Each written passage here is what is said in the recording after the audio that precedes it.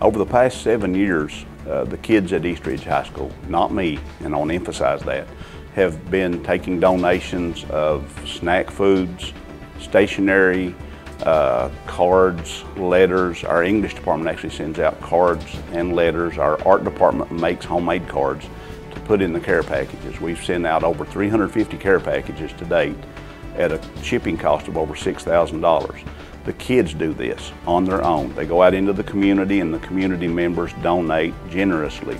Uh, this community has opened its heart to Operation Care Package every year. Operation Care Package is uh, the kids sending APO and FPO boxes to soldiers stateside and overseas who are away from their families. The ones that are overseas get care packages with very needed essential items like uh, baby wipes, toothpaste, uh, toiletries, and snack foods. The ones stateside sometimes get more personalized packages just to let them know that we're concerned about them. Kids here at school are so generous and so open-hearted, they want to let them know that they genuinely appreciate their efforts being away from their families.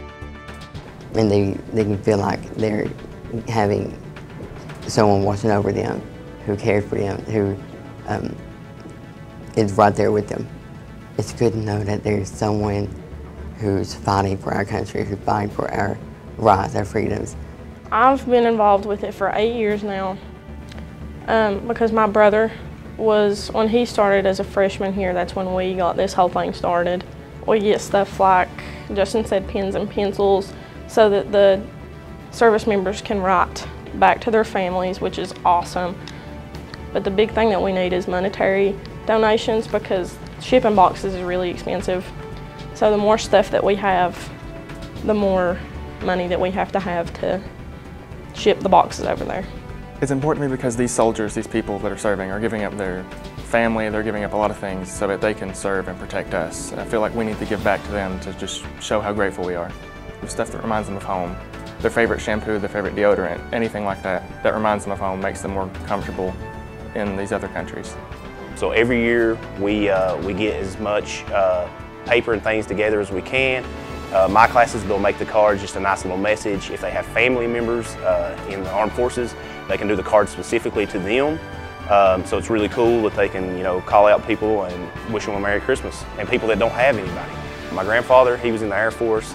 Uh, he was a radio operator. So I've been around military my whole life. Veterans Day means a lot, and I know it's coming up soon. So it's good to tie that in with it. Um, I just like serving any way I can because, you know, they're serving over there. I can do my little part over here. If somebody would want to make a card and bring it in to me, I, I more than gladly. If, if they want to write out a message and then have one of my students decorate it for them, anything. Uh, just if, even if they have family members in the military that they know of, um, bring a card up here. If it's already decorated, that's fine too. Um, just whatever they want. Uh, I mean, we try to pack them full, so you know, more the merrier. Oh, I mean, it's amazing to get care packages from home and stuff whenever you're over there. I mean, even people don't get that you can't just go out and buy deodorant. I mean, little things like that are really helpful, especially in a combat scenario, because you're waiting sometimes a month on a package to get in. So, I mean, people, we would get beef jerky and magazines. Uh, newspapers from home are a big one because you're actually seeing what's going on. And I mean, there was uh, the Veterans Hall of Fame a couple years ago as we went into the, the, our rooms to where we were staying, they actually had care packages made up that were there. And it was awesome because they had schools make up the same as East Ridge is doing that had those things to where we actually like had shaving cream. So it, was, it brought those memories back to where we actually received stuff. So it was really good. I mean, to get packages from home is a, it's, it's really awesome. I mean, it is because you actually see what you're fighting for because people actually care about what's going on, care about you being over there. And I mean, and, and probably the worst scenario to ever be in your life. So it's really a big thing. I know personally I received uh, packages from schools and you know the kids, the drawings and the letters, it really, it, it makes you feel very important, like you're a role model and uh, the, these children look up to you and um, it, it really it's, a, it's pale in comparison to anything else you can ever experience in life for, for me personally. Um, and it was just an honor to know that these children are thinking about us and, and sending us things to support us over there. So.